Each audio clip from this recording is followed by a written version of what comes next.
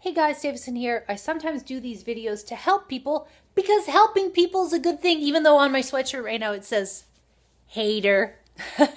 we'll ignore that though. Okay, so this is really quick help for people who have Instagram installed on their iPhone and for some reason they can no longer post their photos to Facebook despite trying to share them either immediately when you select what social networks you want to, to share to when you share a photo or after the fact when you go in and you go through the sharing options.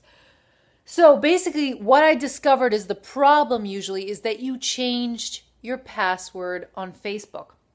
The moment you change your password on Facebook, even if you uninstall app permissions in your um, privacy settings or your app settings on Facebook, it doesn't work. What you have to do to fix the problem is delete and uninstall Instagram and then go into your Facebook. I'll show you where. Go to settings and then you go to apps and then you scroll down to where is Instagram right here and then you would delete it right here. And it'll say it'll delete all your data. Make sure you don't select where um, it says that it's going to delete all of your photos. Otherwise, you will lose everything.